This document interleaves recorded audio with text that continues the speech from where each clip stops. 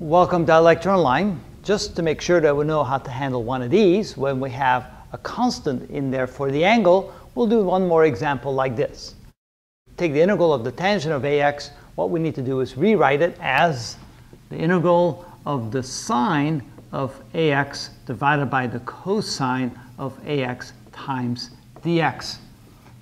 Again, we need to use a substitution let u equal what's in the denominator. In this case, that's going to be equal to the cosine of ax. And then we can say that du dx, the derivative of that, is equal to, the derivative of cosine is a negative sign, so it's a negative, the sine of ax times the derivative of the angle times a. In other words, we can write du as being equal to minus a times the sine of ax times dx.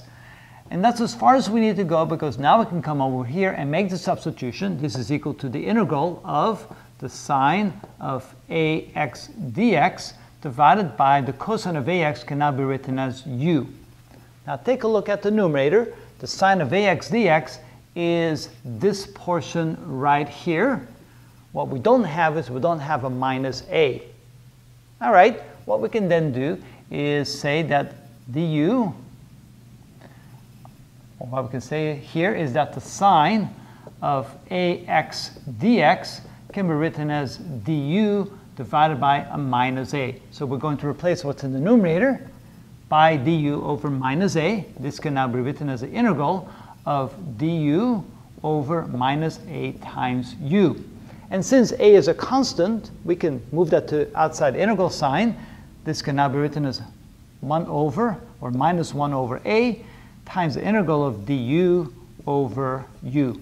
And now we can go ahead and integrate that. That is equal to minus 1 over a times the natural log of u plus a constant of integration. Can't forget about that.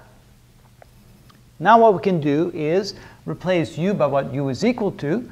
This is equal to minus 1 over a times the natural log of the cosine of ax we can also take the negative sign and move it up here. This can now be written as 1 over a times the natural log of the cosine of ax raised to the minus 1 power,